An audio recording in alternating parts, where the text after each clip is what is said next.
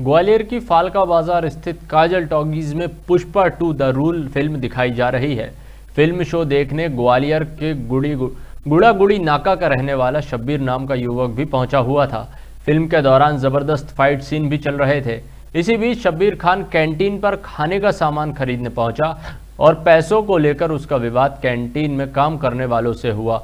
विवाद इतना बढ़ गया कि तीनों ने मिलकर शब्बीर के साथ पहले जमकर मारपीट की और उन्हें में से एक ने फ़िल्म एक्टर अल्लू अर्जुन के स्टाइल में शब्बीर का कान अपने मुँह में दबाकर काट लिया और उसे चबाकर खा गया। पीड़ित शब्बीर का कहना है कि पुष्पा फ़िल्म का दुष्प्रभाव लोगों पर पड़ रहा है और लोग खुद को बड़ा गुंडा बदमाश समझने लगे हैं और उसे स्टाइल में आकर उन बदमाशों ने उसका कान काट कर चबा लिया, जिसके चलते उसके कान पर लगभग आठ टाके आए हैं। कायल टाकिज में मूवी देखने गए था पुष्पा। कैंटीन वालों ने मेरे से मैंने पैसे दिए कैंटीन वालों को।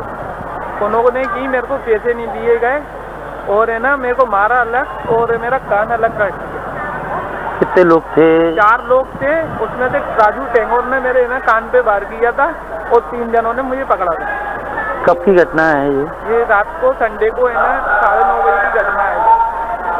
अब पुलिस क्या मामले दर्ज कर पुलिस ने ना रिपोर्ट तो लिख दी है। अभी मेरा है ना मेडिकल हो रहा है। मेडिकल हुआ है मेरा। अभी दो जाँच और देंगे पुलिस वालों ने बोली है जे और करा के बताया किस चीज़ से हमला किया गया था? उसने मेरे को काटा है।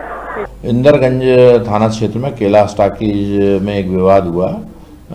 फरियादी शब्बीर अहमद द्वारा रिपोर्ट दर्ज कराई गई है कि वो पुष्पा पिक्चर देखने गया हुआ था और कैंटीन से कुछ सामान ले रहा था। उस बात पर से कैंटीन संचालक व अन्य दो लोगों से टोटल तीन लोगों से उसका विवाद हुआ, मारपीट हुई, गाली गलौज करी, जान से मारने की धमकी दी और उसके कान में काट लिया, जिससे उसके कान में चोट आई। उसकी रिपोर्ट पर से तीन लोगों के विरुद्ध अपराध पंजीबद्ध किया गया प्रकरण में विवेचना की जा रही है। कान का मेडिकल रिपोर्ट आने पर और अग्रिम कार्रवाई की जाएगी